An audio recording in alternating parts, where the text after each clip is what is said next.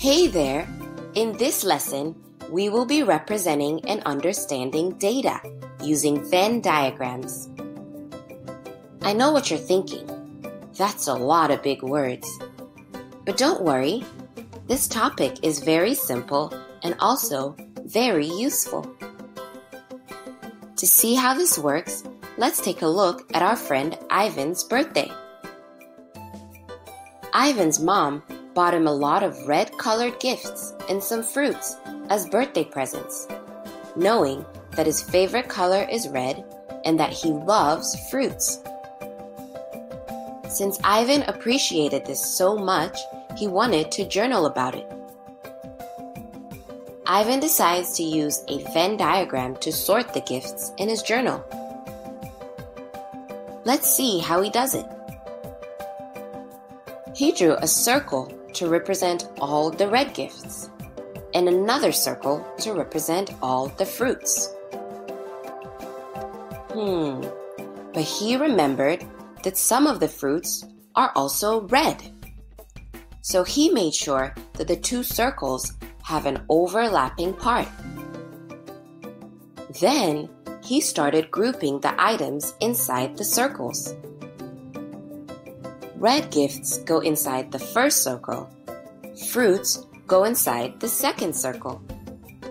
And the red gifts that are also fruits, such as this apple and the strawberry, go into the overlapping part of the circles. What we see right now is called a Venn diagram. The items inside the circles, or Ivan's presents from his mom, are the data. In other words, data is any item or object that we want to list down or record. Wasn't that fun and easy? Let's move on to the second part of Venn diagrams. Aside from being a way to list down data, we can also use Venn diagrams to interpret or understand the data.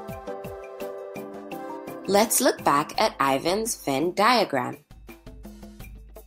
Between the red gifts and the fruits, how do we find out what type of items his mom bought more of? Let's count how many presents are red by counting the items inside the circle for red gifts. One, two, three, four, five, Six. Six red gifts.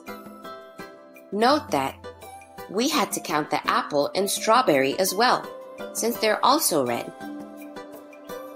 Next, let's count the fruits. One, two, three, four, five, six, seven, eight. His mom bought eight fruits. If we think about it, of course his mom would buy more fruits so that Ivan can eat healthy. That's it for this lesson on representing and understanding data using Venn diagrams. See you next time!